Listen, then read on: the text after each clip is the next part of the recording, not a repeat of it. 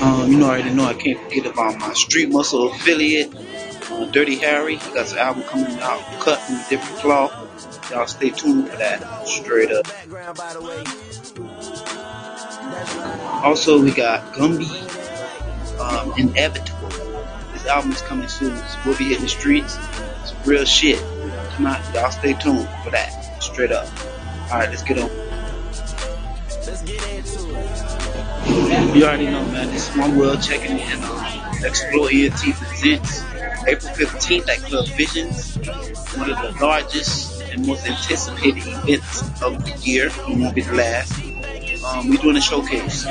Um, best the best, first, second, third place. Y'all come check it out, man. Come see if you got what it takes. If not, come through some network. There's gonna be people doing everything in the building. So, you know, I hope to see you there, man. April 15th, man. Check out the flyers, man. Go, right?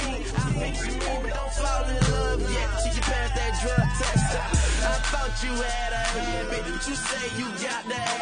So I say that you're an addict with no chance of. Four times a day on average, we it. She grab it, and I'm laughing.